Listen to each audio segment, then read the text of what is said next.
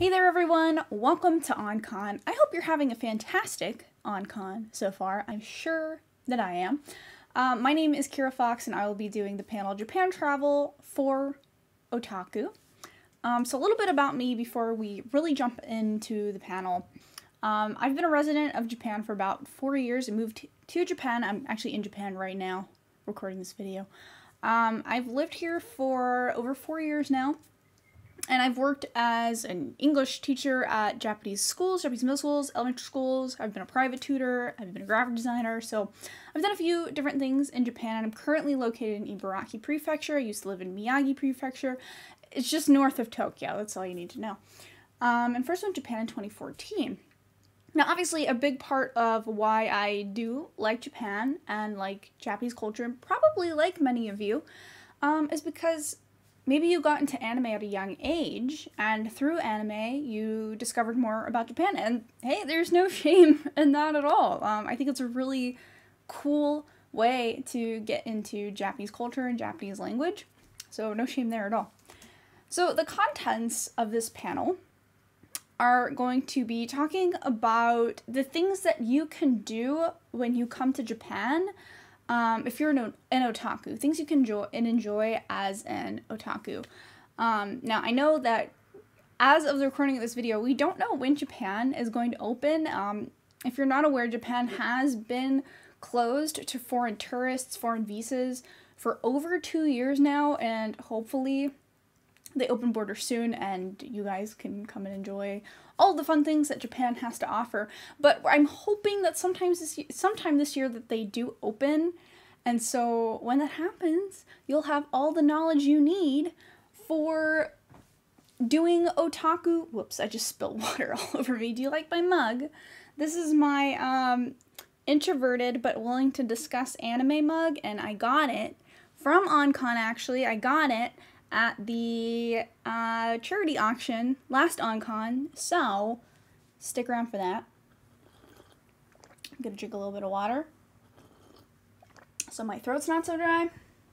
Anyway, yeah, stick around for the charity auction after. I have water on me, but it's fine. We gotta keep it rolling.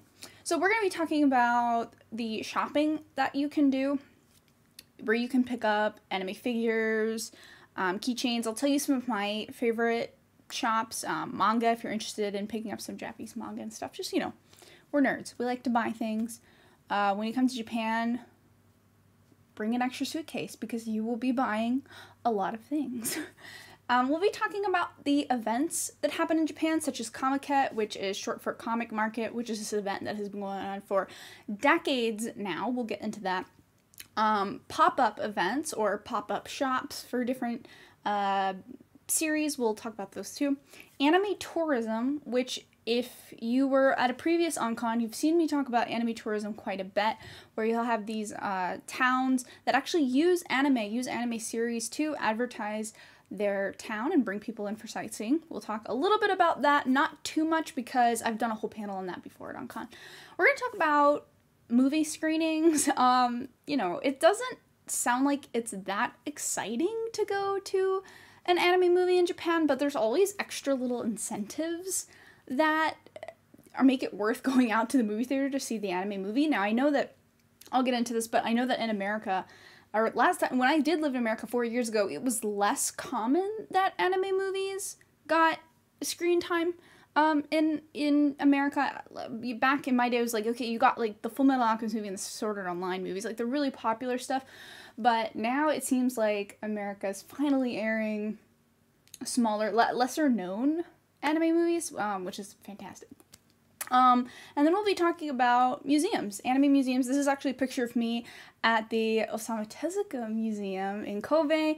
So, what kind of museums can you enjoy as an otaku or, or fan of manga and anime in Japan? There's a lot. So, yeah, let's get into it. This is Japan. So actually, I read this panel at a different convention, so I just wanted to, you know, get make sure that make sure that people kind of knew a little bit about the geography of Japan because some people will fly. Hopefully, hopefully you can see my mouse here. Some people will fly into Tokyo. Um, I would say most people will fly into Tokyo when they come to Japan, and so we want to talk about stuff that you can do around the Tokyo area. So, especially if it's your first time in Japan, you're going to be a little bit overwhelmed. You probably don't want to uh, plan too many things that are too far away from your hotel or you know you don't want to have to book extra hotels or flights or trains that can become overwhelming. So i'll mostly be talking about a lot of stuff that is within tokyo for you to, you to enjoy. But uh, recently um, it's actually been said that down here hopefully you can see my mouse in the purple osaka has recently um, well before the pandemic has taken over tokyo as one of the most touristy international touristy places in Japan. A lot of people tend to go to Osaka a lot nowadays. So we'll also talk about um, kind of anime things you can do around Osaka. So these are the two main areas, which nine times out of ten, I feel like people are going to fly into either Tokyo or Osaka. Um, of course, there's many different things all over the all over Japan that you can do that relate to otaku hobbies, but we'll mostly be talking about these two areas. So I want to get into shopping for otaku goods. This is one of my personal favorite things about being in Japan, about visiting Japan, um, is the shopping. And so there are two you can you can buy anime goods all over Japan, but I would say that there are two places that stick out the most. And that would be the Akihabara district in Tokyo and then Denden town in Osaka. Now, a lot of you guys have probably already heard about Akihabara if you've been to Japan and you're an anime fan, you've probably been to Akihabara. Um, it tends to be first on a lot of people's list, and it, it was first on my list actually when I first moved to Japan. Actually, when I first moved to Japan, you know, I got through customs, got through check in um, to my hotel and stuff, and then the like I woke up at 5 a.m. and immediately got on a train from the Narita area, the Narita airport area to Akihabara. So I did not. Um, I just wanted to go straight there. I did not hesitate. So we'll be talking about what you can find in Akihabara, what you can ta- find in Denden Town, which Denden Town is the anime town of Osaka.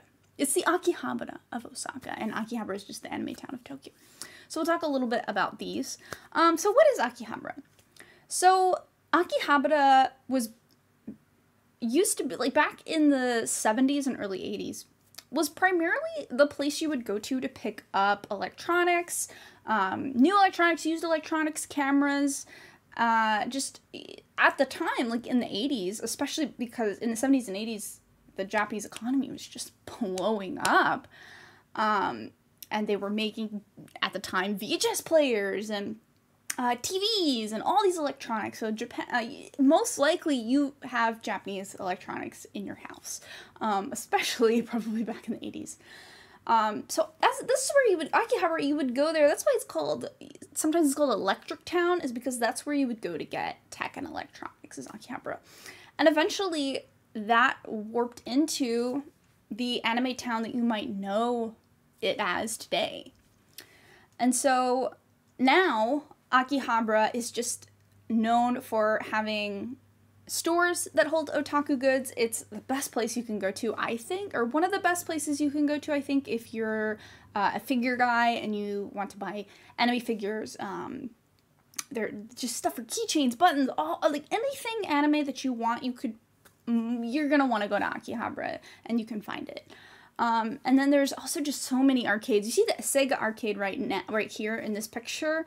Um, unfortunately, well, I wouldn't say unfortunately, but it might be unfortunate for some people. Uh, the company Gigo bought all of the all of the Sega arcades and leased in Akihabara, so they're not known as Sega anymore. They're known as Gigo. Um, the arcades are always really fun, but I think people re- were really attached to Sega as a name for these arcades. I know I was my first video game console ever was a Sega Genesis, so Sega as just a brand name is very nostalgic to me. Um, and it is iconic to me. So to see Gigo buy out the Sega buildings was a little bit sad, but basically the insides of these arcades are all the same. You've got your rhythm games, you've got the crane games where you can win whole anime figures and really high quality plushies and stuff. Um, and other kinds of anime games like um, the there's a Fate Grand Order game, there's Sword Art Online games, there's uh, KanColle and stuff like that. So uh, if you're interested in any of these Japanese arcade games that you normally don't find in America, I know that recently um, Round One has a couple of locations in America now, and they've done really good at bringing uh, Japanese style arcade machines to America so that Americans can play them. Um, but I, I would say that that's definitely a recent thing. The only time that I was able to play Japanese arcade games was if I was at a convention because uh, uh, Tokyo, what are they called? Um, the oh man, I can't remember. Tokyo Arcade. There, there's a there's a company out there that will bring to conventions uh, Japanese arcade machines, and so anyway, places like Magfest and Otakon were really the only places that me and a lot of my friends could play Japanese arcade games. So, uh, Tokyo Attack, Tokyo Attack, that's what it is, by the way. Um, so yeah, companies like Tokyo Attack will bring uh, to conventions these Japanese arcade machines, and but in in Japan you can just like go and play them at the arcades there, and it feels like half the time there's an arcade on every single block. I mean, there is an arcade, literally multiple arcades every, oh, in every single block in Akihabara in the Akihabara district. So if you want to get your fill on Japanese rhythm games or crane games or whatever, you'll definitely want to spend some time at the arcades, I would say arcade uh, Akihabara is probably most famous for idols, uh, idol shows being there. Even though recently idol shows, a lot of them have moved to Shibuya. Idol shows, uh, maid cafes, arcades, um, and anime shopping would probably be the biggest things there. Um, and we'll get into these a little bit more individually. So yeah, things to do in Akihabara. Um, so maid cafes, as I mentioned before, huge thing in Akihabara there are I want to say the two biggest known brands or like branches of maid cafes in Akihabara are At Home Maid Cafe and Maid Dreamin'. So you when you come to Akihabara, you'll definitely see uh, maids in the streets trying to get you to come to their maid cafe and try their maid cafe, and uh, it, it, it's really cool because I don't think like anywhere, nowhere else, like especially in America, maybe in LA, will you see you know cute Japanese maids, all dressed up in their maid gear, trying to get you to come into their maid cafe. I think LA actually recently started to have uh, some some like maid cafes because Japanese culture is becoming so big and it's a little bit easier to access this now. But um, before then, seeing maids in the street just getting trying to get you to come into the maid cafe was just so foreign to me and so crazy. Um but yeah you'll see maids probably on every block trying to get you to come into their um, maid cafe. I've never been to maid dreamin but maid dreamin maids they're all over the place. Like they're definitely trying to get you to come into their maid cafe. And then at home maid cafe is one that i've frequented. Um i actually recommend at home a lot. It feels you'll you'll kind of understand what I mean. Maid Dreamin', you know, at the end of the day, this is a business. It is in a way a corporation, and so the maids have to make money. The business has to make money, and so it can sometimes feel like that with Maid Dreamin'. With At Home Maid Cafe, it's actually at home with like at symbol and then home. It felt a little more personable. It didn't really feel like they were trying to make some cash. Um, so yeah, do be mindful of that if you decide to do the maid cafes. Now, a really big rule about the maids um, in Akihabara on the streets do not photograph them. I mean, much less without their permission. But um, the thing about maid cafes, one of the gimmicks about a maid cafe is that you actually pay for what is called a cheki. And it's usually a, you know, those Polaroid cameras and then just like instantly prints out uh, pictures. They're, they're like totally coming back into style the last couple years. Um, you pay to have either a two shot cheki, which is you and the maid together, or like a one shot cheki of the maid which is just a picture of the maid. And they'll print it out and they'll draw, they'll sign it in Japanese and they'll draw on it. They'll do all this cute stuff. And those are usually about like 2,000 yen, so about 20 US dollars, 17 to 20 US dollars. So they actually make a lot of their money off of photographs of themselves. So you can't just like whip out your smartphone and start taking pictures of the maids. Uh, so yeah, be very, very careful about that. Not only inside of the maid cafe, but also outside of the maid cafe. Uh, be very careful of that. But that is one of the big things you can do in Akihabara, and and they'll they'll make you omu rice as well. And you've seen it in anime where they'll take ketchup and they'll draw like words and stuff and draw little bears and cats and whatever you want on the omu rice. So you can do stuff like that. You can get uh, pretty delicious uh, parfaits and desserts, it can get a little expensive, but I do think that it is something definitely worth doing. Um, at, at, at home, where I went to, they actually will uh, occasionally do a dance on stage, like a cute little kawaii style dance. and it's very fun. So I definitely recommend doing the maid cafes. Um, in Akihabara, there's also ones in Denden Town if you decide to go to um, Osaka. I would say that there is a there are maid cafes in just about every major city in Japan um, under the Maid Dreamin' um, title. So you'll be you'll be able to find one, but especially if you're in Tokyo and Akihabara, there's probably I can I couldn't give you a number, but there's definitely a maid cafe on every street. And so also in Akihabara, obviously you want you can do your shopping. You do your anime figure shopping, which anime figures definitely more affordable if you buy them in Japan versus buying them at a convention, especially the prize figures. Um, prize figures are usually figures that you can uh, win at an arcade, and so you know you pop a couple bucks in there, you win your your anime figure. Um, a lot of people sell these anime figures to secondhand shops, and then these secondhand shops will sell them for about 30 to 40, uh, 3,000 to 4,000 yen, so about 30 to 40 US dollars. Um, but then what happens at conventions is that they will buy these prize figures because they're the cheaper figures and then sell them for double, triple the price at an anime convention. Um, for example, I have an Asuka figure. I don't even think it's a prize figure, but I have an Asuka figure that I bought at a convention in 2014. I paid $40 for it. I have literally found it in Akihabara for like less than 10 US dollars. so that's kind of the idea is that you will be able to do so much uh, shopping for so much cheaper when it comes to and not only anime figures, but um, acrylic stands, wrist straps, whatever kind of anime things you collect, you'll definitely be able to find them cheaper in Japan by quite a bit. I think you'll be very surprised. I knew that things would be cheaper when I got to Japan, but it's just like the reality set in of like, oh my gosh, like this $120 figure is only $50 here in Japan. It's crazy. Um, you'll definitely want to take part in eating in Akihabara. Akihabara has everything. They have McDonald's, they have KFC, they have gyudon, uh, which is beef bowl. They have it all. Um, but this picture, actually up here, um, this is uh, gyudon. I don't know those other kanji. Uh, is that uh, anyway? Gyudon sampo. Sampo is the um, blue letters right there. So this uh, this is actually significant because you might think that this is familiar to you if you have seen or played Steins Gate. This is the gyudon place that the characters always like to go to.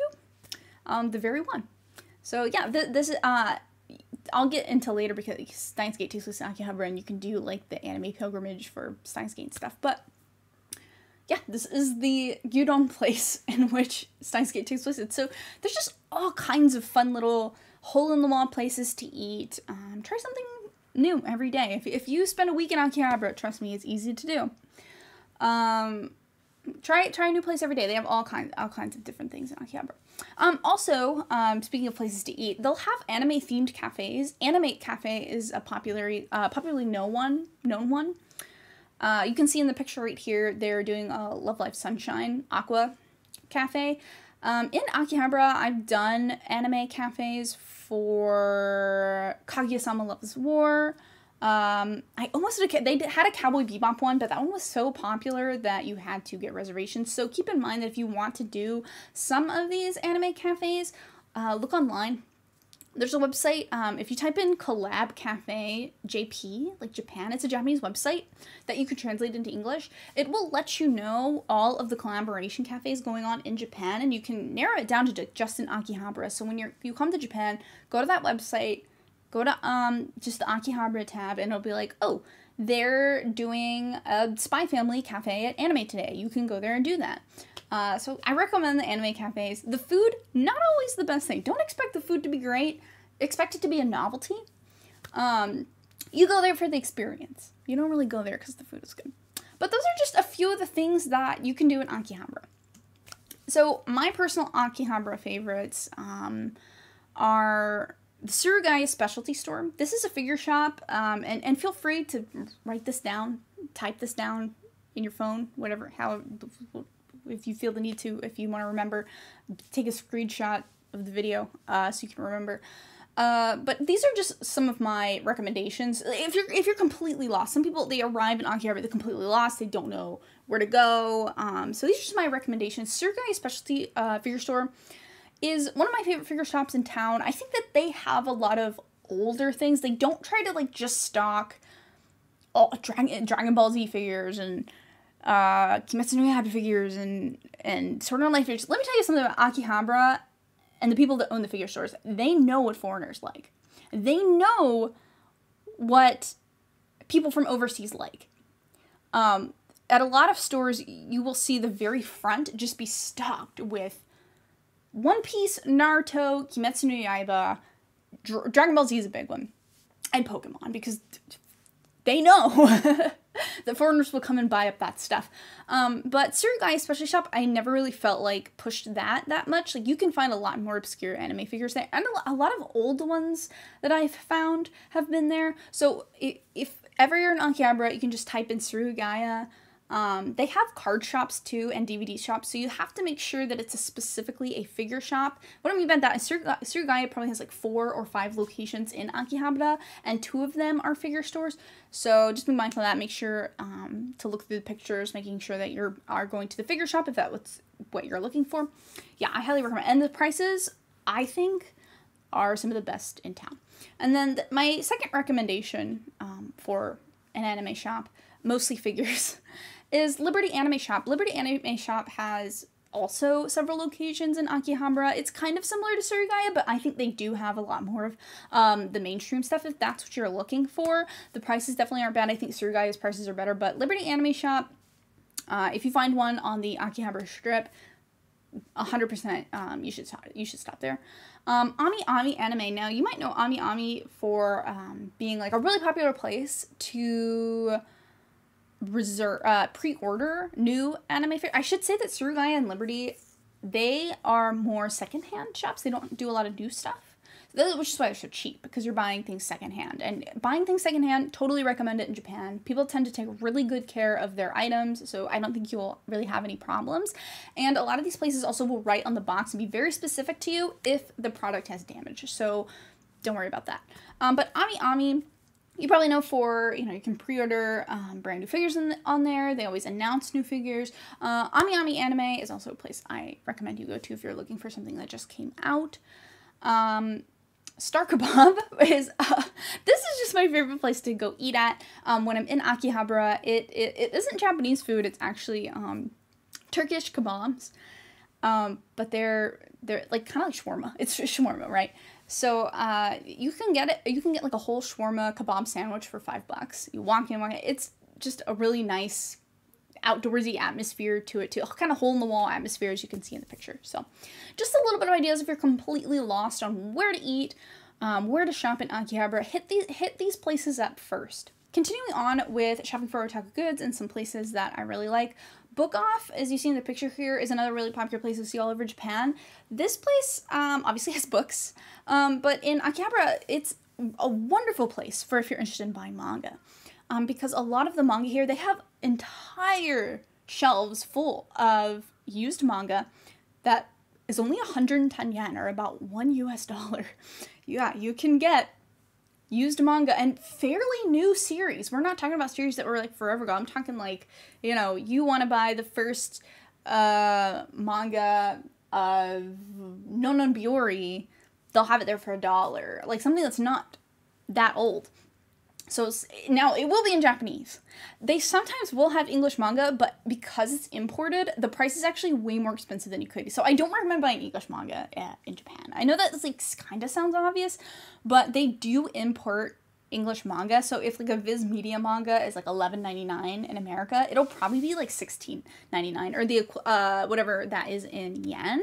So just be careful of that. So, but hey, uh, some people really do like to buy the Japanese manga and it looks really nice on a shelf too. It's so cheap. It's so cheap. I think you can sometimes buy like if a series has 40 volumes, sometimes you can buy the whole set for I'm not kidding you, like less than $40, like less than a dollar for each manga. So go to Book Off for stuff like that. I want to buy the whole series of blah blah blah, you have got to go to Book Off for that. Um, they're also known as like hobby offs and hard offs. Hard offs and hobby offs have uh, other things like furniture and home stuff. Um, Book Off is mostly just books, so keep that in mind. Uh, Second Street, that's another um, secondhand shop that you can go to that has I think their figures at Second Street are really cheap. I don't think their selection is good, but the figures are cheap. Lashinbang, oh my gosh, probably other than Surugaya, this is probably my second favorite place to buy figures. Um, the th- reason why I like Lashinbang so much is because uh, this store is organized so well. Most of them are. So it's like you're looking for a keychain from a very, very specific series. Um, they usually have like every series that you can think of will be uh, labeled on the shelf uh, so that you're not digging through a thousand different little keychains and buttons to find this one character from this one show that you want. They do a really good job of organizing their stuff. So Lashinbang, write that down, write that down. Um, and then of course Animate, which you've probably heard of. Animate kind of specializes more in stuff that is currently airing and they get a bunch of new products. I want to say if this is correct like directly from the studios that make the show. So um, for example like last season the big shows were um, dress up darling uh, and for me um, uh, slow loop and stuff like that. So to get the brand new stuff that might not show up yet at the secondhand stores, you'll definitely want to go to Animate. Um, like I'm trying to think of something that's airing right now. Spy Family. Spy Family is a great. Animate has all the Spy Family stuff um, currently right now. So anything that's new uh, airing right now, you'll want to go to Animate to pick it up. All right, so let's move on to conventions in Japan. Conventions in Japan are very, very different than conventions in America. You don't normally, if ever, show up to a convention in Japan already in cosplay. And now look in this picture. Look in this picture. People are dressed fairly normally too. You know, you kind of show up at anime cons in America and everyone's like dressed for a rave, or they've got their Nekomimi on, or they're in cosplay, or in a, you know, maybe just a Luffy hat or something like that. They're sporting what they like. That was not really the case when I went to Comiket and Anime Japan, which is an anime um, specific event in Japan. People dress like they're just like going out for Sunday brunch, regular clothes. So that's something that's quite different um, about Japan. I'm not exactly quite sure why it is that way. Um, but for cosplay, you basically show up to the convention in regular clothes, usually regular makeup, not in your wig, and you bring a suitcase that has your cosplay stuff in it. You actually pay a fee to use the changing rooms and to grab a spot where you stand in cosplay and photographers come and take pictures of you. It's generally not this idea where you get dressed and then you walk around the convention. There are places at the convention that are off limits for cosplay and then um, places that are uh, specifically set aside where cosplayers are supposed to be. So keep that in mind. Uh, there are people who show up to the convention in cosplay, but it's almost always foreigners every single time. Uh, so just, you know, keep that in mind. Um, here's Tokyo Big Sight, where a lot, that's me at Tokyo Big Sight, uh, where a lot of these events take place. So Comiket being one, um, which is the biggest comic market probably in the world, not just Japan, where um, artists will come and sell their own manga um, and then also, in, there's industry at Comiket that will be um, advertising games and anime. You can actually see this is not, eh, it's not Tokyo Big Sight Station. There's another station that I can't remember the name of that's near Tokyo Big Sight. Um, you can see where they're uh, advertising the Nononbiyori movie at this station and then Steins Gate Zero back when those were um, being uh, had gotten announced in 2018. So industries will be there too, but um, Comiket I would say is bigger for the individual artist than it is for um, industry level stuff. Anime Japan is another event that is it's there's not individual uh, like artists there. It's just more industry announcements. Um, but Comiket does have like a balance of these two things. So uh, Tokyo Comiket, this is what um I'll go into a little bit more detail. So you can kind of see these lines leading up to um, Tokyo Tokyo Big Sight, you've probably seen it in anime before if you've seen stuff like Comic Party or uh, OreImo is another good example, or Wotakoi. uh, you've definitely seen this building before if you've seen any of those anime. Um, but the lines can just be ridiculous. There are two Comic-Cons a year, well, before the pandemic. Um, one in August and one in, during New Year's time.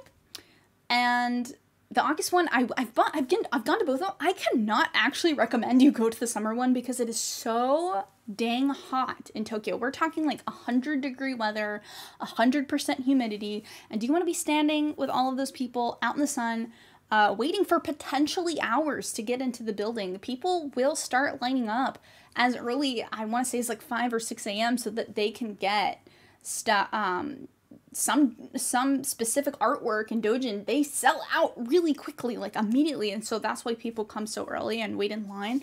Um, I waited in line in the rain for Winter Comiket. It may have been summer. No, it was definitely Winter Comiket. For Winter Comiket, uh, I think I was in line for an hour and a half. I could not imagine doing that out in the Tokyo. August. If you've been to Tokyo in August, you know exactly what I'm talking about. It's not worth standing outside for an hour and a half. So just a fair warning. Now it is a once in a lifetime thing for some people, so it might be worth it to you. Don't let me tell you what's worth it for you. It's not worth it for me. It could 100% be worth it for you. You do your thing. Um, but this is um, this picture of this cosplayer is a really good example of kind of the, this gated off area um, where she's standing. It's not the most uh, scenic uh, cosplay photo you could have. You know, these cosplayers they will often go to their own studios or do an on location shoot shoot because you know this uh, idol character it, it doesn't really it, it's not the best scenery. You've got people walking in the background. You got the the the barrier set up behind her.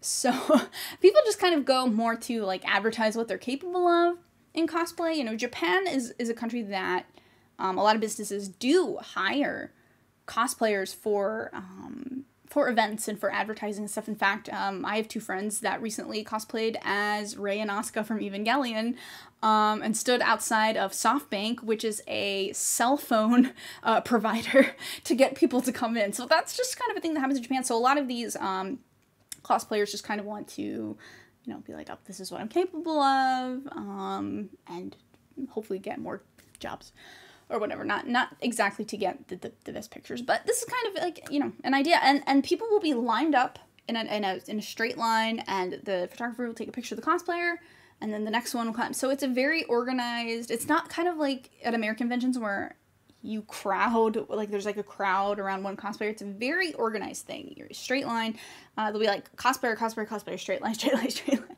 it's fairly organized it's really cool to see. Um, honestly, one of the most enter- uh, uh, almost one of the most entertaining aspects of Tokyo Comiket. Um, and then there's also smaller Comic-Cons in smaller cities. So Tokyo is obviously a city of eight, nine million people just in Tokyo Prefecture. Um, and then Sendai is a city up to the north with a population of like 1.9 million. So its Comiket is way smaller. Um, Tokyo Comiket can see 500,000 people at the event over the course of the weekend. Um, Sendai Comiket, no, nowhere near those numbers. Very, uh, very small. Um, I'm looking at this picture of that Sonic and Knuckles doujin, and now I have regrets because I would have loved to buy something like that. I didn't even notice it. Um, but this picture is one that I took uh, from Sendai Comiket. Um, and then that is actually me cosplaying at Sendai Comiket. Same cosplay rules where you don't show up to the convention and cosplay. You bring it in a bag. Uh, you don't have your wig on or anything. And I bought, it was like a 500 yen ticket, about a $5 ticket. And then they take you um, to this uh, room, which I'm not even sure if it was separated guys and girls. I really have no idea. It was mostly female cosplayers. So I mostly saw females in there, but I didn't see another area that was like marked off for guys.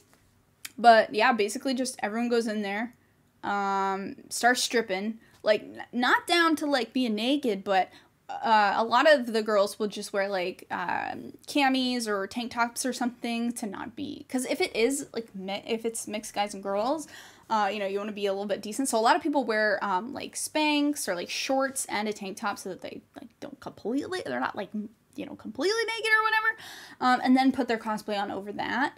Um, and so I did the same thing. I went back there, and, and you have to get dressed yourself. I didn't have any friends with me. Uh, I my husband came with me, but he wasn't back here with me, so you have to get into it all to all yourself. And like cosplayers knows, like usually you need friends to like help you zip stuff and get into stuff properly. And so that was really hard. And then you like if you have any extra crazy makeup you have to do, like I had to do pink eyebrows for zero two. Um, you don't want to show up to the event in pink eyebrows, so it's like you have to um, bring like your own compact mirror. Then at Sendai Comic Con, maybe it's a smaller event, they didn't have have like vanities or whatever, but like you do your makeup like with one hand it's really difficult. And you have no sink or water, so if you need water for whatever reason, like for wig styling, like you are just out of luck. It was the weirdest experience getting into cosplay without like an actual bathroom or changing room. Um, it was just like part of the convention center blocked off with barriers, and it was just like a hundred people. Like there was a person on this side of me and a person on this side of me, and we were like we were like on our knees getting into cosplay, getting our makeup on. It was like the weirdest um, cosplay experience I've probably ever had, but it was still um, really fun. I would definitely do it again. So, you know, there are smaller events and stuff. And so Anime Japan, this is the one that I told you about. This one, so Tokyo Comic Con happens twice a year in August and um, in like January near New Year's. Um, the small, small, if you're in a smaller city in Japan, you can usually look um, up on Twitter or um, even sometimes the city's websites, and they'll tell you when their individual Comic Con is. Uh, Sendai Comic Con actually held their event once every season, so four times a year. Now, Anime Japan, this is more of like industry style, an industry event, um, where like Sunrise um, and Pony Canyon and all these uh, publishers and uh, animation companies will come and advertise what's new. So these are some pictures I took at Anime Japan 2018. This is when they announced the new Code Geass Resurrection movie, so they were advertising that Anime Japan. There's cosplayers too, only in that one hall. The cosplayers could not walk around anywhere else, only in that one hall. Um, so if you're kind of, I, I personally like Anime Japan better. Um, not I guess because I am really just that big of a fan of anime as an industry, and I wanted to see what was new and coming up. Um, but I liked Anime Japan a lot better. There was less people. Um, it was during March, so it wasn't too hot. It's not too cold. Um, it's during March every year, so if you want to come in March 2023, uh, I totally recommend it. Um, and you get just so much free stuff, um, like uh, headband, hat things, bags, um, stickers, buttons, like a bunch of cool free stuff. Um, to from from the companies to try to get you to watch your shows. So I definitely recommend going to Anime Japan if you're ever if you ever catch yourself in Tokyo. This is also at Tokyo Big Sight by the way, so the same place that Comic Con is. So if you catch yourself in Japan or in Tokyo in March, totally hit up Anime Japan. Um, Comic Con used to be free. I think they upped the prices though recently. Um, Anime Japan, I think I only paid like two thousand yen for a day ticket, so like twenty bucks. It's not expensive. Um, Another strange difference to me is that usually with places, you know, with um, Otakon and Katsucon or whatever, they'll, they'll have stuff going on until like midnight and sometimes past midnight, like panels and dances. It's not really like that with these conventions and events in Japan. Um, Comiket and Anime Japan both ended at 5 p.m. Um, and and there's not really such thing as fan panels, right? Um, you'll have industry panels where they'll um, have the voice actors there. Um, and to get into these panels, you usually have to sign up via a lottery system online. So it's actually pretty hard to get a spot at one of these. It's not like a panel room with a hundred chairs. It's more of like panels that are at their individual booths and they might have like 30 seats. So at events where there's going to be like 80,000 people there, not really a, big chance you're going to be seeing a panel um, at one of these events. So that is the thing I like better about Western anime events is is the fan panels. Uh, I, I do miss that. So it feels more like a community too uh, at Western conventions versus Japanese conventions as well. Japanese conventions is like all business, right? Like it's all business. It's all making money. It's all advertising. Um, whereas Western anime conventions, it's a lot more like having fun. I would say. Um, so let's get into a little bit about concerts. Um, this does have a lot to do with being an otaku. A lot of people, like this is uh, Lisa, who you might know, um, does a lot of the music for Art Online. Um, recently started doing a lot of the music for Kimetsu no Yaiba. Ah, taking a little sip. So you'll definitely want to probably catch um, a concert in Japan if you've heard, or maybe you just like Japanese music in general, but I feel like a lot of people, um, myself included, um, get into Japanese bands, uh, especially before I came to Japan, get into Japanese bands because you hear them in an anime or something like that. Oh man, I love going to concerts in Japan. Actually, way more um, than in the West, I would say. Um, so here's just like a, a small concert venue. Um, a lot of bands do really small shows. Like I've been really surprised. Like um, I'm really into a Japanese band called nano.RIPE. You've probably heard them. They do music for Food Wars. They do music for Non Non Biyori. They did the opening for Citrus that aired um, several years ago. So I would say that they they do a lot of pretty big shows. They've done a lot of really popular anime openings. Um, but I went to a venue way smaller than this, even like a venue that maybe only held like fifty people when I went to go see them. Um, so like you kind of get a really good experience because there's not so many people that go um, to these. now there are groups like uh, i also saw claris uh, one time, Claris, who you might know, who did the opening for the first season of Madoka Magica, um, they did the music in um, OreImo. Um, I went to go see them, and that that was at a much bigger venue. And Lisa, well, Lisa, she'll you know do like Tokyo Doom, Tokyo Doom, Tokyo Dome, and these huge places. You know, she'll sell those out easily. So not every time, but uh, oh man, we gotta keep going. We gotta keep going. Oh my gosh. I don't want to run out of time. so uh, yeah, I, I, recommend you know go to go to a concert if you get the chance. Um, you can go on a website. It's called E-Ticket. If you just go to Google and type in E-Ticket Japan, uh, or I'm sorry, not E-Ticket Japan, E Plus, E Plus, E-Ticket might come up, but E Plus Japan almost every single band that I've seen have used this website, um, and you can go on it um, using American Internet. You don't need a VPN or anything like that, um, and you can just like click Tokyo, uh, go to the specific dates where you're going to be in Japan, and see what bands are playing. You'll probably be really surprised. Um, you, might know like some of the bands that are playing. Um, there's all these shows and stuff going around uh, in Tokyo, so I definitely recommend it. Um, oh, also if you're a woman, um, a lot of concerts have a women's uh, women's only section on the floor. So like, uh, and by floor I just mean like the like general like floor of the uh, venue. Uh, so like when I went to go see Claris and when I went to go see several idols, I'd stand in the women's section. It's usually not so many people over there. It's not as crowded. Um, and it's usually put in a spot that has a really good view. Like for the idol concert, it was like right in the front. And then for uh, Claris, it was like this lifted up place in the middle of the venue. And I had like a perfect view of Claris. So um, if, if, uh, sorry guys, I'm sorry dudes, you gotta miss out on this one. But uh, if, I think because, you know, there's so many reports of like I guess women being harassed at um conven- uh, at these kinds of events and like you're really close to other people that they do offer um, a place for women to stand with uh, other women, which I freaking love so much. So, uh, sorry guys, but yeah, for, for women, that's that's a cool thing, I guess.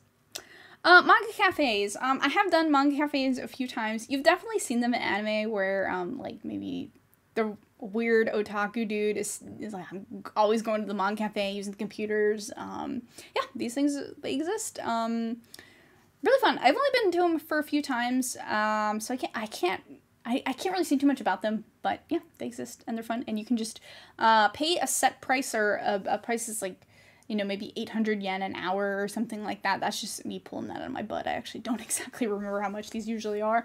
But you can, you have access to um, uh, like fountain drinks, manga, and then you can go back into your room. You can use uh, the computer. Some people will like sleep in these because sometimes it does end up being cheaper um, if you buy like a night than staying at a hotel.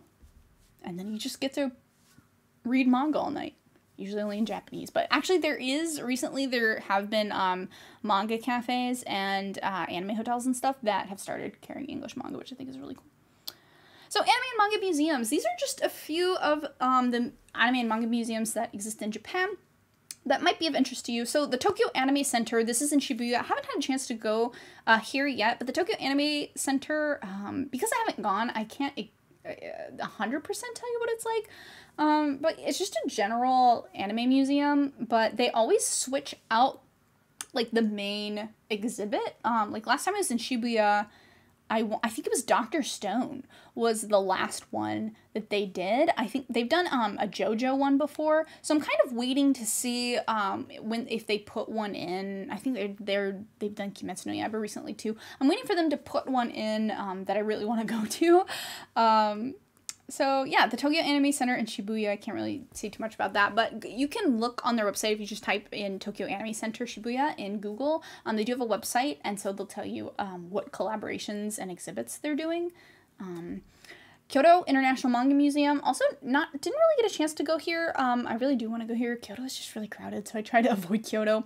But there is a manga museum in Kyoto. Um, so I did go to the Osamu Tezuka Museum in Kobe. This was such a an absolute treat.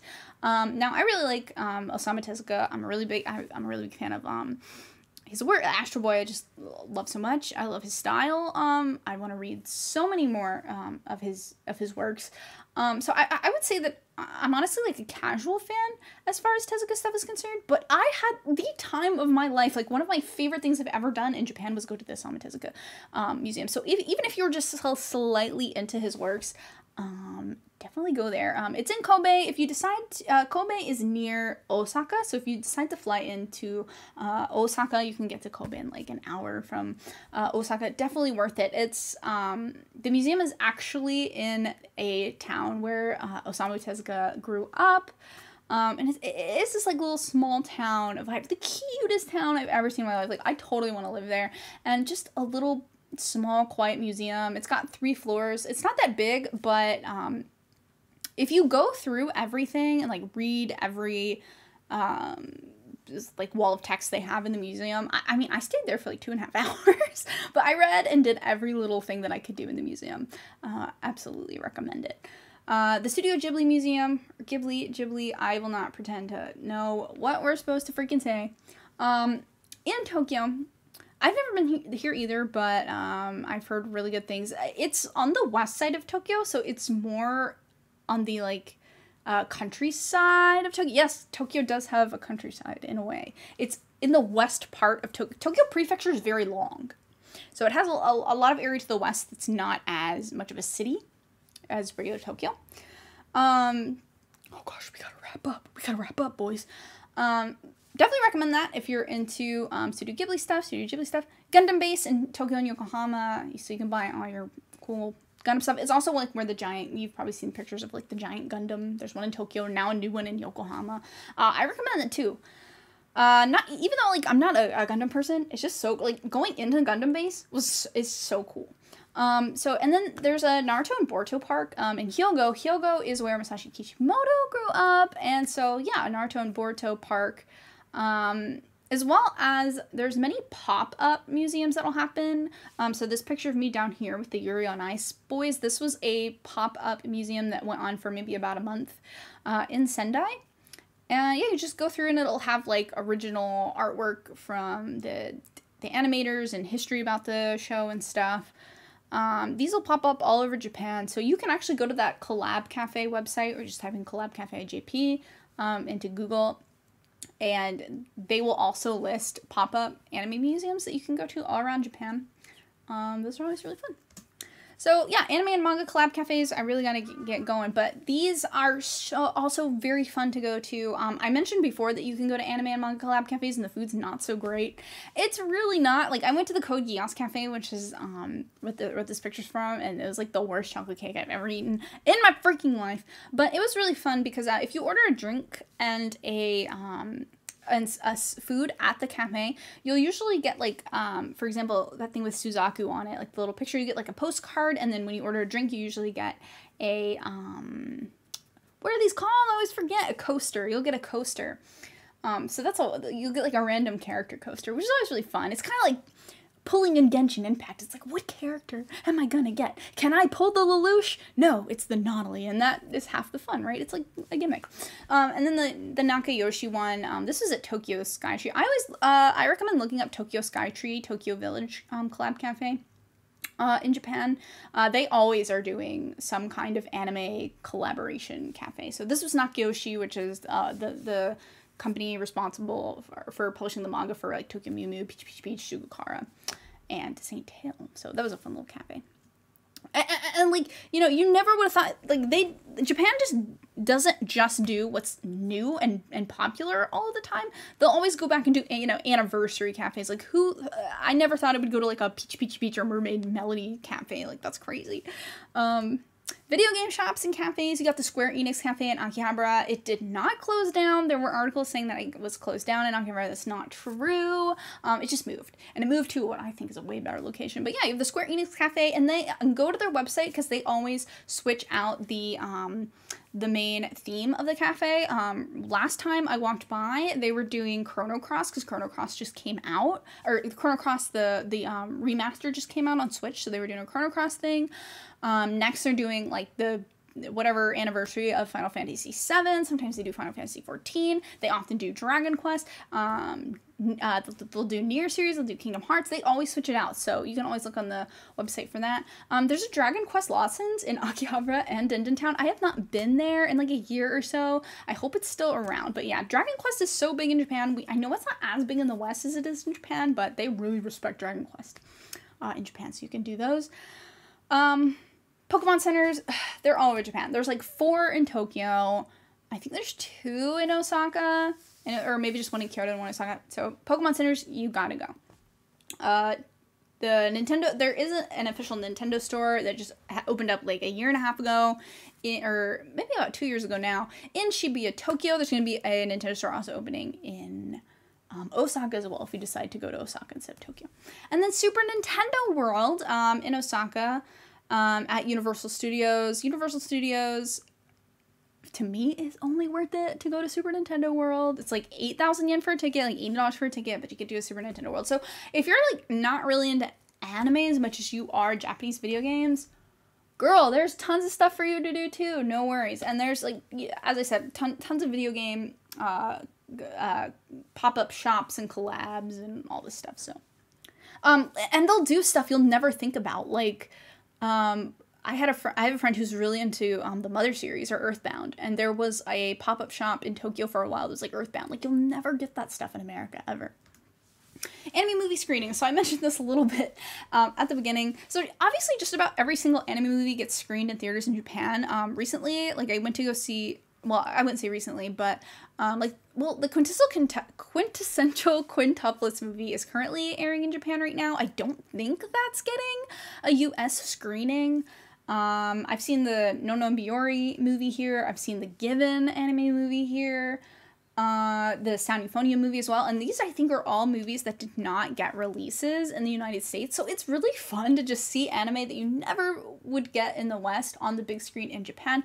And usually do get an exclusive event for attending the movie. For example, for the Non Non Biyori one, um, I got like a coaster for, um, like, I got like exclusive little printed artwork for the Sound Euphonium one. So that's always really fun. I don't know if they do that um in America all the time. I don't remember. I went to go see Full Metal Answer Rally in America. I don't remember if I got anything from that. But you usually like nine times out of ten will get an exclusive gift for attending the movie, which is really cool. And inside of the movie theaters, um, this is something that I don't know. I never look. I grew up in a small town in America, so I maybe my small town just didn't have it. But there are often gift shops in uh, Japanese movie theaters that will sell stuff that is from the movies that are currently screening, and so you can get anime merchandise um, that way as well. So yeah, just some of the, the, the, movies that I personally went to go see um, in Japan that I don't think got a U.S. screening. Probably Love Live and Pokemon. I know Bell did. Bell definitely did. Um, but at the time, it took a while. It took a while because Bell aired in Japan way earlier. Okay, there's just collabs everywhere everywhere you go, there's anime collabs. Um, this is at Tokyo Skytree. um, they had an Evangelion um, collab there. I think right now it's JoJo's Bizarre Adventure. So at Tokyo Skytree, they're always switching out um, the collab that takes over the entire, I'm not kidding, the entire Skytree. Uh, becomes Anime Town. um, that's me in front of the uh, Naruto park bus. Um, yeah, from Osaka, you can actually take the Naruto bus to the Naruto park, and all of your 2007 Naruto dreams can come true. Um, they this is like Genshin Impact stuff at, at Sweets Paradise, which is a um, cake buffet in Japan. Um, the manhole cover. This is um, you know, uh, you got the Hiiragi twins on the uh, manhole cover. in uh, Saitama, where Lucky Star takes place, just anime stuff all around. Um, convenience stores are also a perfect place uh, for anime collaborations. Uh, for example, this is a Hololive uh, collaboration where um, I got some Corona candy, um, and then like two. If you got like the Hololive candy and then two Hi-Chew things, um, you could get a free clear file, a free little poster. Um, so yeah, yeah, and they'll switch out the collabs of like different anime all the time. So definitely where just go to your local convenience shop like like eight minutes down the road you know this is where i got i got my Hololive stuff. Um i won't go too far into this because i don't have a lot of time and um i've already talked a lot about anime IRL, IRL settings and you can go to my uh, youtube channel Ginger Garden on youtube if you want to watch these. But um these these are towns in japan that have settings that are in anime um, and you can go there, and they often have like anime merchandise, and they'll have like stands of like the characters there too. So I don't know, take a screenshot if you're interested in any of these things. Again, you can go to my YouTube channel if you want more information on anime tourism in Japan. Um, and then I want to ask if there's any questions except for the fact that this is pre-recorded so um, i think usually there's an interview after each panel so if you have any questions start typing them now. Um, I'd love to answer any questions that uh, you may have. Uh, anyways, thank you so much again. My name is Kiira. My Twitter, if you're interested in following me for whatever reason, Kiira Hedgehog on Twitter, two eyes, K I I R A. Insta, Kiira Fox, and YouTube. My YouTube is Ginger Gaiden. Um, if you have any questions about otaku life in Japan, I have no shame. I love uh, being in Japan um, and doing a bunch of otaku stuff here. So I hope that if you get the chance to come to Japan, you also get the chance to do that too. So, all right. Thank you guys so much. Have a wonderful rest of the OnCon. Big shout out to Brent and uh, everyone that just is in the chat and that does all the other panelists and stuff. Like, God, this time we have some amazing panelists, like amazing freaking panelists. That's so cool. Um, yeah, just you're welcome to tweet me if you have any questions or talk to me in the chat or whatever. Thank you so much, and hopefully I'll see you for the next OnCon. Bye! There we go. Um, actually, we're going to switch over that way. There we go. Um, thank you so much for the panel. That was awesome. Thank you. Thank you so much. Yeah, absolutely. And thank you for being part of OnCon. I know it's it's uh, the hours for you are a little different than it is for us, so appreciate that. Yeah. it's 6:57 a.m. at the moment. Wow, wow, absolutely nuts. It's fun though. cool.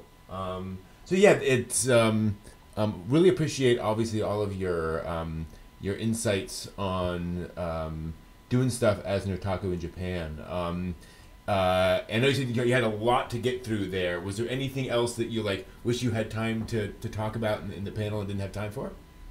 Oh goodness. Um, you know, for, for, for that panel, I could always go into detail about like just how cool anime tourism is. Mm, yeah.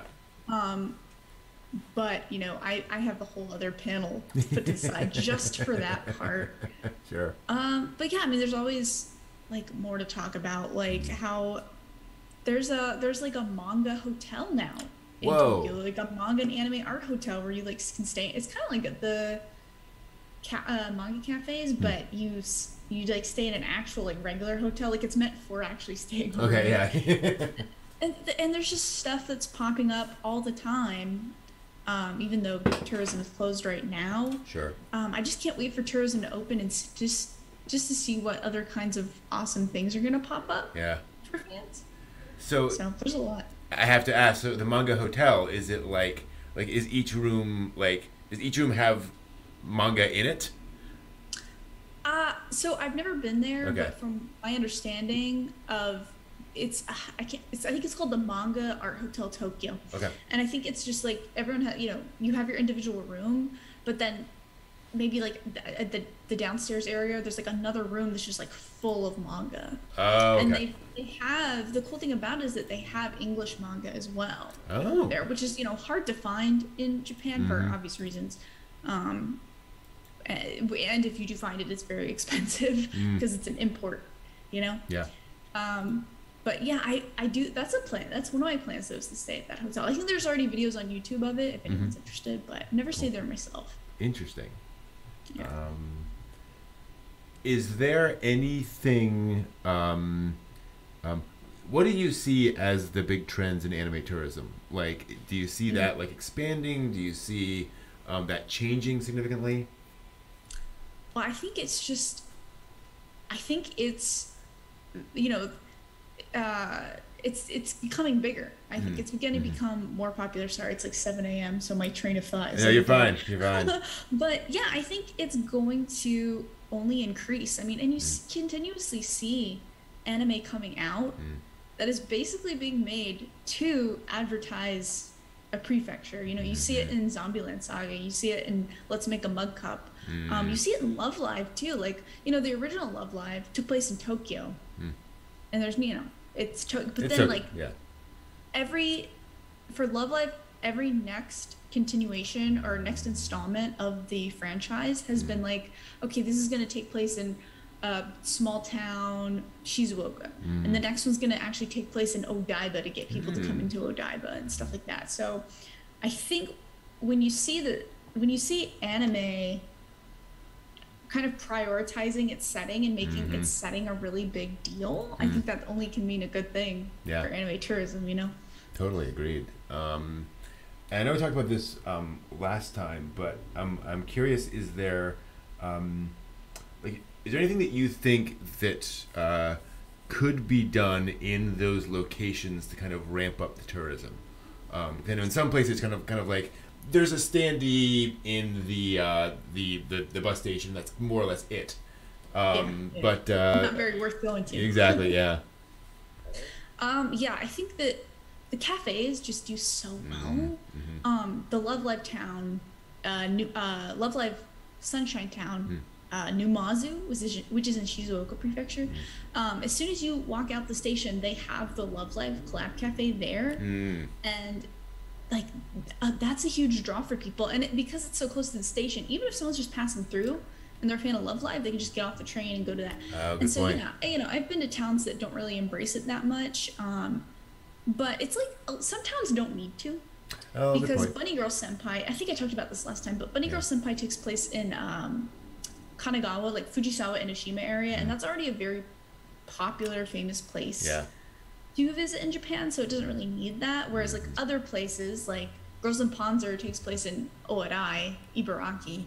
No one would go there if it wasn't for Girls und Panzer. But the Girls und Panzer town has a Girls und Panzer cafe too, mm. which is a big part of why people like to go there. But I think between that and having exclusive merchandise mm. in these places, mm-hmm. Um, like I have a, a Girls und Panzer acrylic stand of Miho, uh, where she's like wearing a train conductor outfit from like that specific Oarai train station. Like you can get Oarai train station stuff mixed with Girls und Panzer. It's the only place you can get that kind of stuff. Yep. So I think like if people if if if towns do want to embrace anime tourism, I think the cafes and the exclusive merch mixed in with their town Yeah. are the the two biggest things. Totally.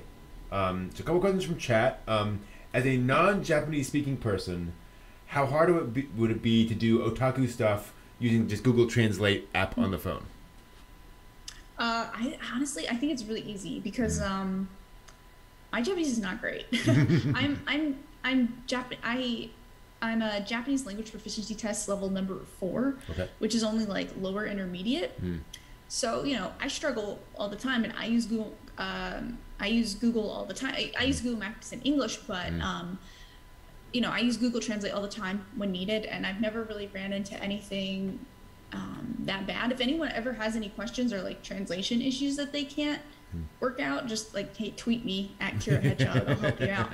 Um, but you know, technology is so awesome. Like you can go on these websites, these tourism websites that are only in Japanese, and just like translate them Mm, uh, instantly with Google Translate. So I don't think you have to worry um, too much at all. Yeah. And, and people know that foreigners are really into anime, and I think especially when tourism opens up again, hopefully there, uh, you know, there's gonna be maybe more English signage, more English websites, and stuff like that. So I don't think you have to worry too much at all. And I know when I was there, um, you know, it, a store is a store. You know, you go, you gather your things, you go to the front, and you pay for them. Like they know, they know how to operate that.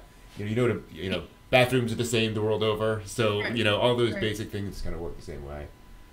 Um, uh, also in chat, um, how much on average would someone expect to spend on a normal trip to Japan? So I guess you know, Hmm. setting aside buying all the merch.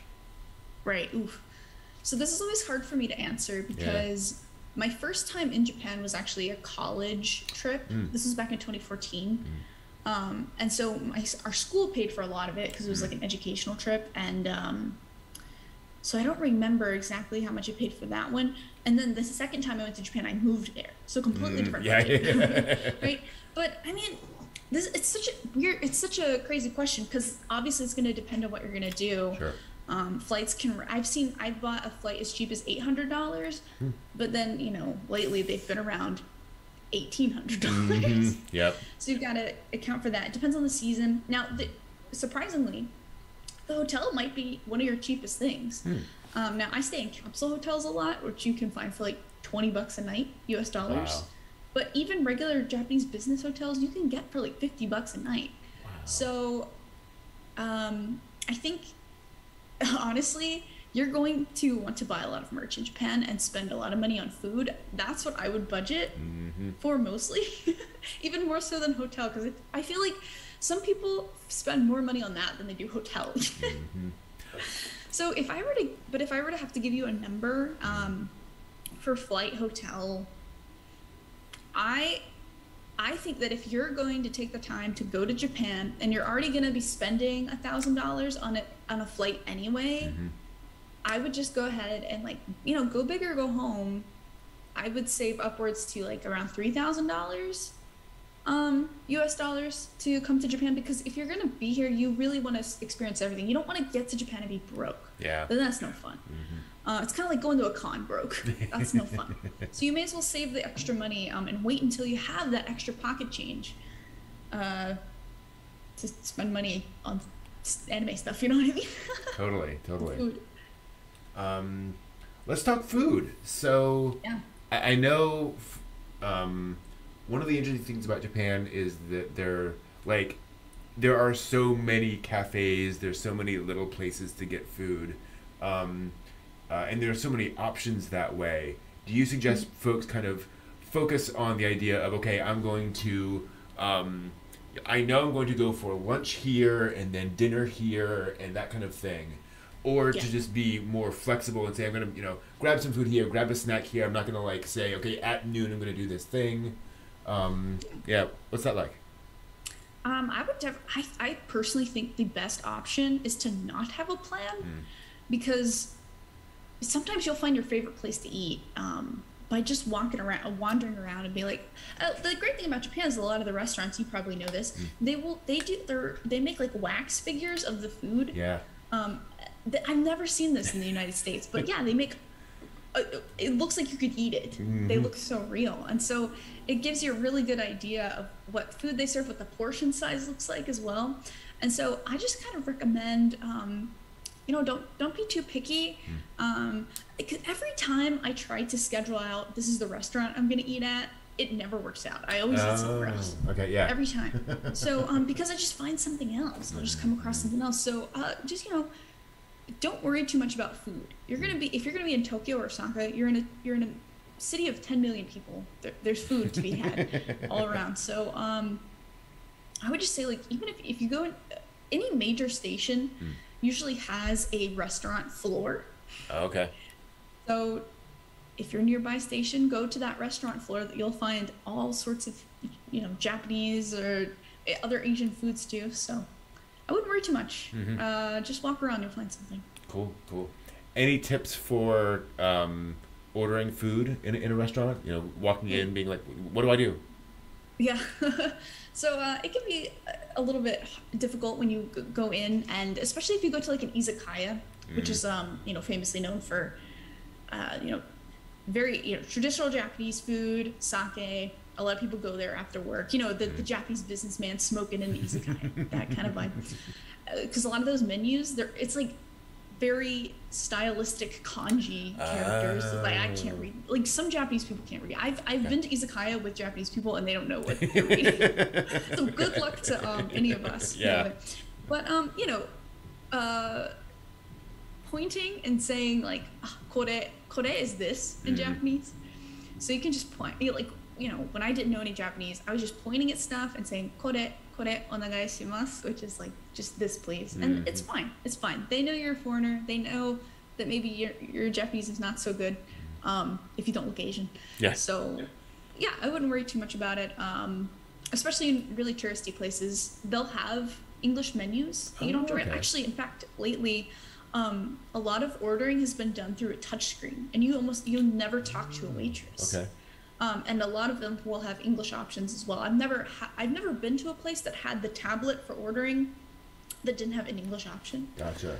So you might be able to eat at a lot of places without even you know, Oh. talking to people Nice. these days. Yeah. I remember seeing an episode of Japanology where they, they talked about that. that The one of the one of the selling points of transitioning to the tablets is Yeah. you can serve you know folks in who speak English or French or whatever like like you know Yeah. all of that is kind of Yeah, handled for you on that. Yeah, Right. that totally Right. makes sense. Um, It's important for food allergies and stuff too. Like, Yeah. We don't know what's. And that's a good question too. Actually, like so, um, as, somebody, as John's saying in the chat, if you are you know diabetic or you have an allergy, some, some- something Mm. like that, um, how is that kind of negotiated? Um, that's a great question, actually, and this is one that's important to me because um, my sister is actually like deathly allergic to a lot of things. We've been in ambulances and hospitals and Oh. whole thing, so it's like pretty like intense. And so like you know, the last thing you want is to be stuck in a foreign country um, and and have a situation like that. And so um, I've kind of learned how to be like, you know, my sister has allergies um, to this, this, and this, and um, and I actually have a Japanese friend who's allergic to um, olive oil, and so Ah. she has to. Uh, when she goes into restaurants, obviously she's Japanese, so it's, she can communicate better. But she asks them like, "Does this have olive oil in it?" And you know, they'll go back in the kitchen and ask and be very thorough about allergies and stuff like that. Um, so I've never really ran into any issues uh, myself with it. Um, usually, uh, what I would recommend is that if ha- take a list of food you're allergic to. If you don't know a Japanese speaker, um, just Google Translate it. it it'll you could probably um, even just with Google Translate, it'll probably be right. You'll get the point across Close enough, yeah. and, and bring it in Japanese and to a restaurant. If you have fears that there's uh, something you're allergic to in a food, um, show it to the waitress, and I think you'll be okay. Gotcha. Cool. Um, how about just sort of, um, so I know over here in America that you know often you'll go to places that you're saying in the chat, you know, keto friendly or you, you know, um, grain free or whatever, and like Right. it's, it's it's very easy to find those places because they're advertised so much. Is Yeah. that as true in Japan? Oh man, I would say n- gee, but almost not at all. Oh, um. So like being uh, being a vegan and doing um, kind of like organic foods or uh, keto friendly and stuff is is still very new. It's still very fresh in Japan. In fact, um, recently I have been able to find like organic foods in grocery stores, but that is not always the case. You usually have to go to a special grocery store for that. Um, but as far as like vegan places, really only in Tokyo, and and like in the very in the more like bougie kind of western areas of Tokyo, like Akihabara, you're not gonna find vegan food half the time, but in um, in like Omota, uh, Omotesando, which is like near Harajuku, in kind of more I'd say upscale places that have a lot of foreigners, you will find vegan restaurants. They do exist. Um, but outside of Tokyo, I don't I don't really see it that much. So if, if you're vegan or have uh, certain dietary needs like that, you, you do have to be a little bit more careful. It can, it can get a little tough. Gotcha. Um, do you have any tips for sort of general like on the street navigation? I know for me when I when I would come out of the, the train station, I'd be like, I think this is Shibuya, you know, Yeah. uh, and you you see some some landmarks and so forth, but then you you'd go three streets over, and I'm like, am I still where I think I am? Is this the neighborhood? Yeah. Um, gosh, I'm right there with you um, on that because um, you know, uh, Shibuya Station, Ikebukuro Station, these huge stations, they have like 50 exits. It's true. Right. Yeah, yeah. So, you know, I, uh, first time I was in Shibuya, I just wanted to go to Shibuya Crossing and see the one. Yeah, yeah, uh-huh. Right? Yeah, It's like Yeah. that's how I knew it was Shibuya, right? And so like I come out of like some completely different exit, and I'm walking for like half an hour just to find what I thought was Shibuya. Yeah. But you know, uh, use Google Maps can be your best friend and your worst enemy. It can say it can really mess you up, but I'd say eight out of ten times it's gonna be your best friend because um, if you use it, um, if you get off of a train line and you have something in Google Maps that's like, I want to go to Shib- uh, Shibuya 109, it'll tell you what exit you need. Like, oh, you need the Hachiko exit or exit number 8 or whatever. So follow that. That's generally pretty good. Um, I used to forget, I used to not notice that Google Maps told you what exit to take. And, you know, my, you know, country bumpkin butt would just kind of like look at I'd be like, oh, that's an exit. Let me go out that way. Thinking, oh, th- this train station only has two exits, right? No, you will get yourself lost. So my biggest tip for that, as far as like getting out of train stations and navigating, is look at the at which exit you're supposed to get out of. Because taking exit six and exit seven, two you'll be on two completely different sides of town. Wow. So be careful of that. I would say. Gotcha. Cool. Um, uh, yeah, no, that, that, that totally makes sense. Um, question around like fandom in general. One of the things I've always um, wondered is, um, like, I, one of the problems with being a fan over here is like, if you're a fan of Love Live Sunshine, there aren't a lot of like official Love Live Sunshine events. Um, Yeah. How do fans in Japan know? You know, I'm a fan of Genshin Impact. Oh, there's a collab happening. There's this happening. There's that happening. Like, it- how do people like find those things, and how is that stuff like communicated out? Uh, yeah, it used to be really hard for me to find out those things, Yeah. like collaboration cafes. I usually just had to get really lucky if I saw something on Twitter or um, like uh, even Reddit or something like that.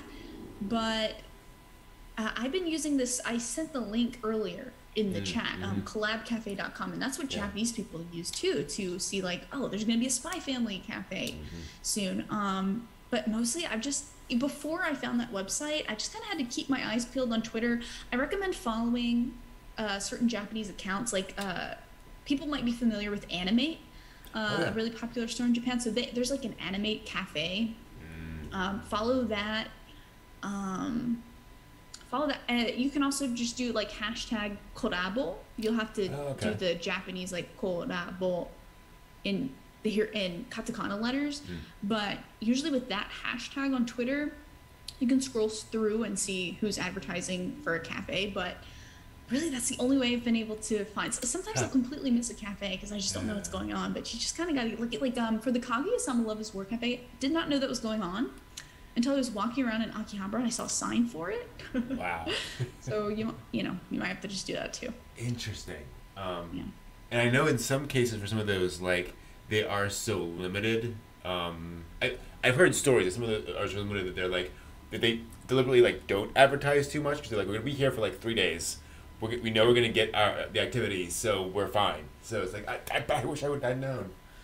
Yeah, Uh, yeah. uh, That's always the worst because Yeah. Japan. That's the thing about Japan, limited stuff, and Mm-hmm. I- it sucks because um you know if I do a video of a collaboration cafe, um like for example there was a fruits basket one in Harajuku a couple years ago, and so I still get comments on that video that's like oh I'm gonna go to this cafe I'm like yeah you're at two years too late it's only Mm-hmm. open for like a month you know so uh, that's the other you know kind of crappy thing about it is nothing's permanent. There are permanent anime cafes, but it's like one piece, you know. yeah.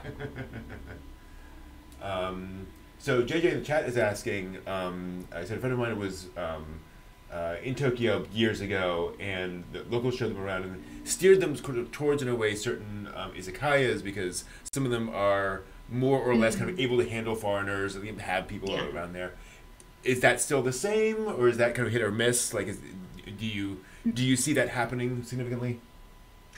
Um, oh man, I can't tell because in my Mm. experience, the izakayas I've been to, I've been to with Japanese people, Uh, gotcha. Yeah. um, which which helps a lot. Yeah.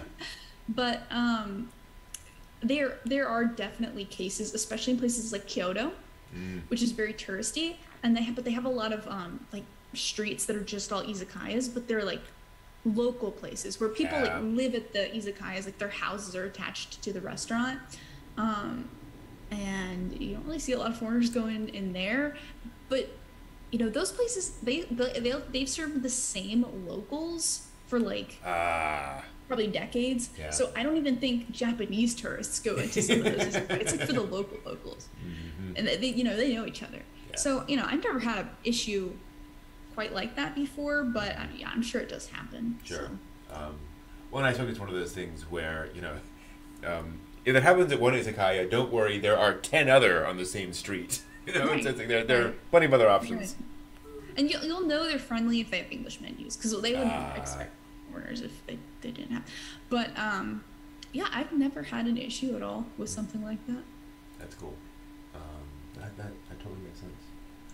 Um, let me pull up the chat here. Yeah. Any cool stuff for Sonic fans to see in Japan?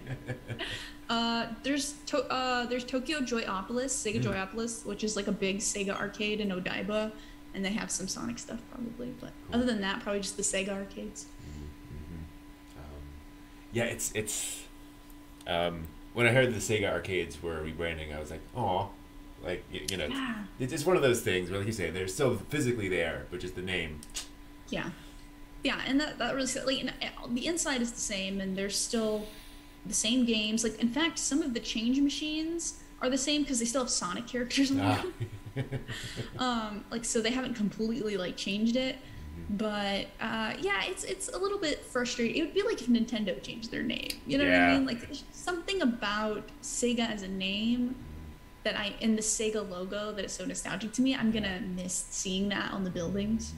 Absolutely. Um, well, and especially you know, especially because like really Sega was the only like real video game like logo I saw in Akihabara, basically, Yeah. right? In terms of like a, a Yeah. big presence, you don't see Right. Sony or Xbox or Nintendo there. Yeah.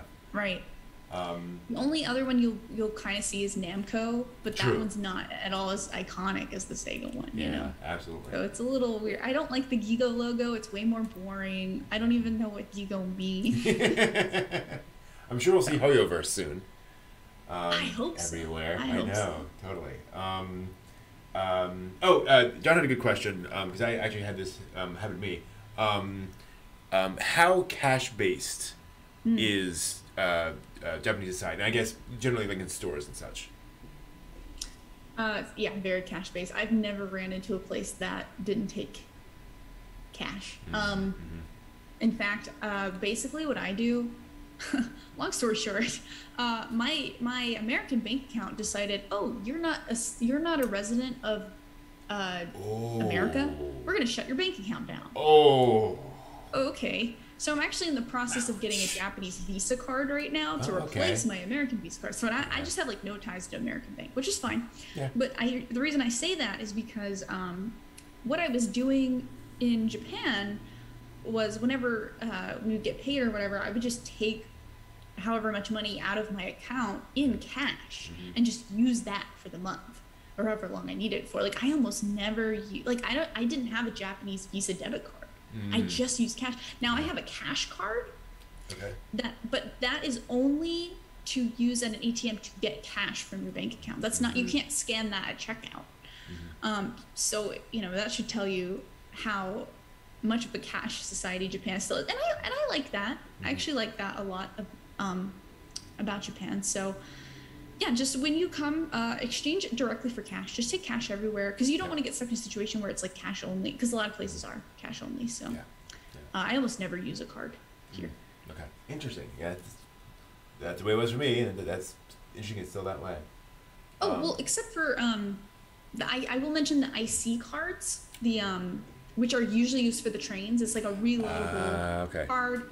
Um, you know, you put you know put fifty bucks on it, five thousand yen on it. You can use it not only for the trains, you can use it for the buses. You can use it for food. I use it at McDonald's. Oh, wow. Uh, you can use it at drugstores. You can use it all over the place. So um, if you kind of are weird about touching money, or you don't want to hold a lot of cash with you at one time, um, yeah, put just put all your money on an IC card uh, and use it that way if you want touchless pay. Good idea. Absolutely. That's Yeah. great. Um, um, Are there any products from the USA you miss the most? Products from the USA I miss the most. Um, Are there any you uh, can't get? toothpaste. Toothpaste. yeah. Dude, Japanese toothpaste. Um, so I implore you in a way to try if you go if you're in Japan, Ooh. if you don't bring your own toothpaste, go buy some toothpaste, like just whatever toothpaste you find. It's like not as good. Like the taste is not. It's not good. It's not Okay. good. So whenever I'm in America, I bring over like cr- Crest, like bake the the what is it? The baking soda kind of Mhm. flavor. I don't know what it's called. it's I haven't been in America in a long time, but I usually I, I'll like bring back Crest toothpaste back from America to Japan. Also, um, bring deodorant. Oh. Because I don't know if you got you've may have not heard this, but like Japan, the j- deodorant industry in Japan is like not as much of a thing. Like there's like Oh. two brands of deodorant, Wow. um, and it's all the roll-on kind, which I hate that kind. Mm. So like me and my husband, we actually order like he'll order his um like Old Spice or whatever, and I'll order my Mm. Dove or whatever from Amazon, Okay. Yeah. like the regular deodorant. Um, yeah, because they just don't have it in Japan. Interesting. So, Huh. Wish I could get that here. Yeah. That, that totally makes sense. Wow. Yeah, I know those those are weird things, but those Yeah. are just they're different. Totally. They're yeah. very I different. never would have thought. I'll, I'll definitely have to try Japanese toothpaste when I go over there. Yeah, you, it's Now I'm curious. maybe you'll pick out a you'll get lucky and pick out a good, one, but if you're like you know, it's hard to find the good ones. Just try it. What is it about it? Is it like is it like not minty or is it like not not not I feel like just- it's not minty. Like I feel like, um, like I've been using Japanese toothpaste a lot recently, Mm. but I buy like a real I buy like a seven dollar tube. Like what does Crest cost in in like at most Yeah, three like dollars? four, but yeah. Uh-huh. Right, I buy like the seven or eight dollar one here now, um, but so maybe I, I I've gone through enough brands that I know what I like if I Mhm. have to buy Japanese a Japanese brand. But it's like uh, when I go back to America and use American toothpaste, I forget how like overpowering the mint is. it's strong. Like, yeah. It's really strong. It's really strong. So um, I think you'll when you try Japanese toothpaste, you'll be like, "Where's that?" oomph?" You know what I mean? Mhm. Yeah. So. Um, that's the best way I can describe it. maybe there's just, Jap- uh, there's Japanese subtlety to, to their toothpaste, right? There's just lots of subtle There's flavors. subtlety to the toothpaste. Yeah, Yeah, exactly. There really is. Hundred percent. Cool. Well, um, I will let you go. Thank you so much for answering these questions and staying up to to help out with the thing, and and, and thank you so much for the panel. It was fantastic. Well, thank you for running OnCon all the time. It's fun. I I do. You, yeah, no problem. Uh, cool. Uh, thank you so much. We're gonna take a quick break and be right back. Bye.